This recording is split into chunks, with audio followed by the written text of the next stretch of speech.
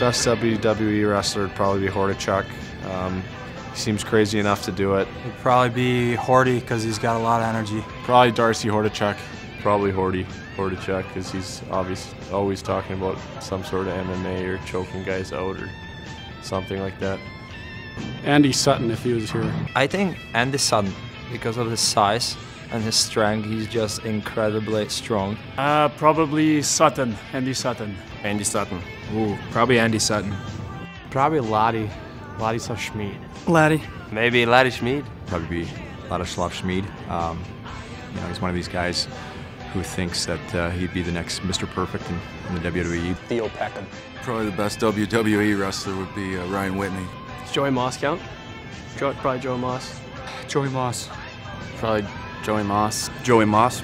Either Joey Moss or uh, Hordichuk.